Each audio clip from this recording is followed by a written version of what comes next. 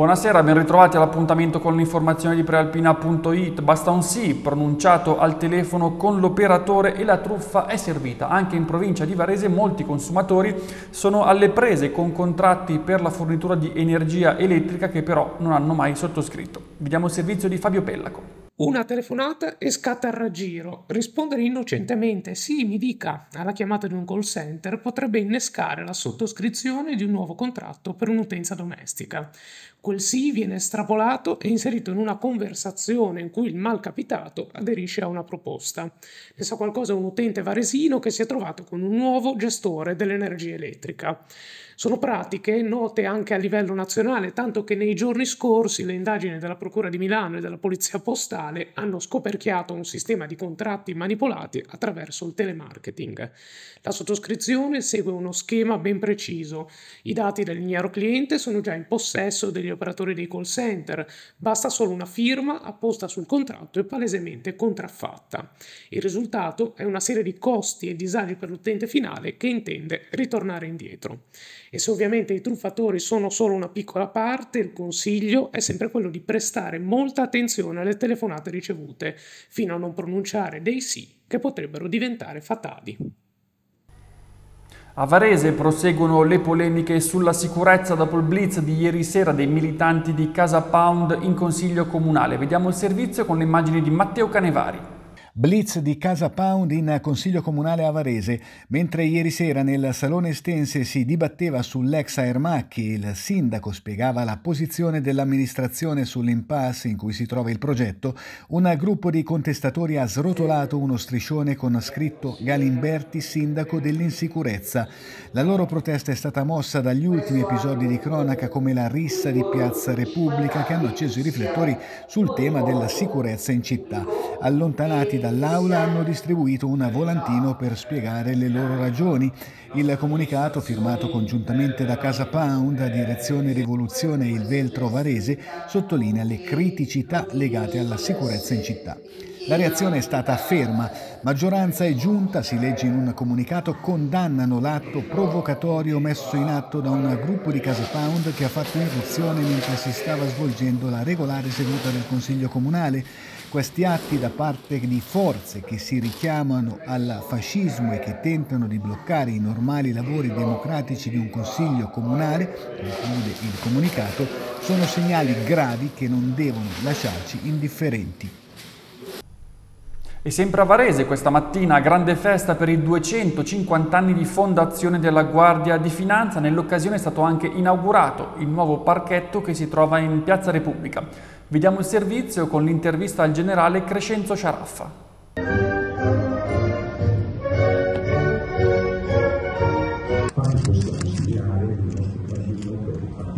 Generale Sciaraffa, eh, a capo della Guardia di Finanza della provincia di Varese, un evento fondamentale oggi per la città, anche per il luogo che avete scelto per l'iniziativa. Come mai?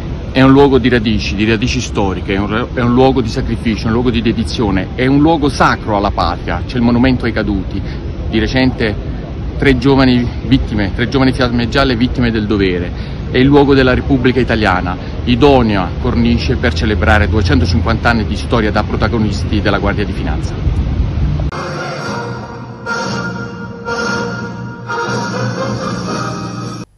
E andiamo adesso a Busto Arsizio dove non si placano le polemiche sulla piscina Manara. Francesco Inguscio. L'arrivo del nuovo gestore Aquamor ha permesso di far partire regolarmente la stagione estiva della piscina Manara, ma gli strascichi legati all'ultima complicata fase della gestione Forus non si sono ancora esauriti. È spuntata infatti una grana legata all'attività dei nuotatori, circa 60 atleti fra agonisti, esordienti e master, tesserati per Taurus Nuoto, la società di Forus Italia. Con la chiusura per lavori della parte interna dell'impianto, che non riaprirà prima di settembre, questi atleti sono stati costretti a emigrare in altre strutture come Ierago e Legnano, proprio nella parte decisiva della stagione agonistica. Un trasloco non indolore che ha comportato una diminuzione delle ore di allenamento, oltre ai disagi e ai costi per gli spostamenti. Per questo motivo i genitori dei ragazzi, rappresentati dall'avvocato Stefania Gennaro, hanno presentato una lettera di diffida indirizzata al comune, a Forus e ad Aquamor, in cui si chiede di concedere ai nuotatori l'utilizzo della vasca interna della Manara almeno fino al 10 agosto e di rimborsare alle famiglie i costi sostenuti per l'utilizzo di altri spazi acqua. E torniamo a Varese dove è stato presentato il progetto per la realizzazione di un Famedio. Ci racconta tutto Sara Giannini, le immagini sono di Agenzia Blitz. Famedio di Varese via alle candidature. Inizia la fase partecipativa per proporre i nomi di cittadini e cittadine che hanno lasciato un segno nella storia della città e che sono meritori dell'onorificenza. Il nuovo Famedio sorgerà nel cimitero monumentale di Giubiano. I singoli o le associazioni con sede legale sul territorio comunale potranno segnalare al comune un nominativo da inserire insieme alle motivazioni.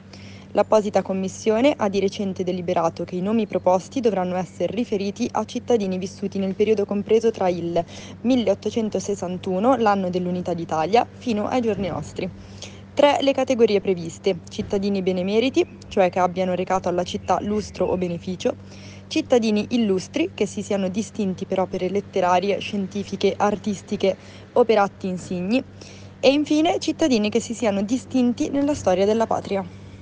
E sempre a Varese, nella chiesa di San Massimiliano Colbe, prosegue la raccolta fondi per restaurare un prezioso crocifisso del Cinquecento. Barbara Zanetti ha intervistato per noi Don Marco Paleari. Da eh, qualche settimana ormai è stata lanciata la raccolta fondi per il restauro eh, del crocifisso ligneo che nel giovedì eh, di Pasqua eh, è caduto eh, a terra e si è profondamente danneggiato. Eh, a che punto siamo con l'intervento e con la raccolta fondi? No, grazie, siamo contenti che la sovrintendenza abbia già dato parere favorevole il nostro restauratore Massimo Peron ha presentato un progetto di restauro e quindi abbiamo incontrato il parere favorevole della sovrintendenza. Quindi il restauratore ha iniziato il grosso del lavoro qui in sede, quindi ha aggiuntato i piedi, la parte delle caviglie, ma la parte di fino, quindi con la pasta di legno, le strutture adeguate, il colore, l'ha portato nel suo laboratorio e quindi là incontrerà i tecnici professionisti della sovrintendenza per valutare il miglior lavoro possibile.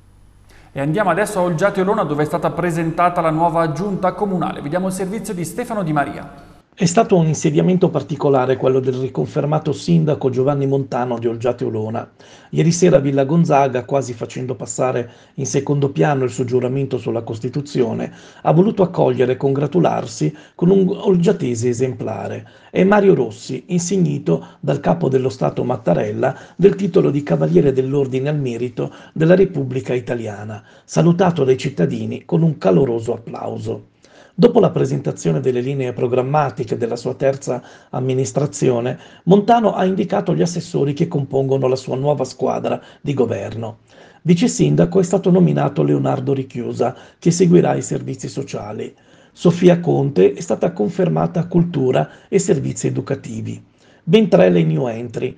In primis Fabio Longhin, che ha ottenuto la delega al commercio, all'innovazione e allo sviluppo integrato, assessori esterni Ugo Bassi, bilancio e tributi, e Concetta Saija, territorio. Tanti temi sulla prealpina di domani disponibile in edicola e sui supporti digitali. Sentiamo qualche anticipazione dal collega Luigi Crespi. Domani in edicola con la prealpina c'è il settimanale Oltre. Lo sapevate che tra qualche giorno un asteroide ci passerà molto vicino? Ma la Terra si salverà e ve lo spieghiamo noi come. Questo è uno degli argomenti contenuti nel numero di questa settimana. Rimanendo nel campo della cultura e degli spettacoli, pubblichiamo sul giornale di domani l'intervista di Subsonica in vista del concerto del Rugby Sound di Legnano che sta per cominciare. Tanta cronaca, infine, con un caso di revenge porno e l'arresto di un ladro seriale, oltre a tutte le informazioni sulla notte bianca di domani a Busto Arsizio. Grazie Luigi, con questo anche per oggi è tutto. L'appuntamento con l'informazione di prealpina.it torna come sempre domani alle 19. Una buona serata.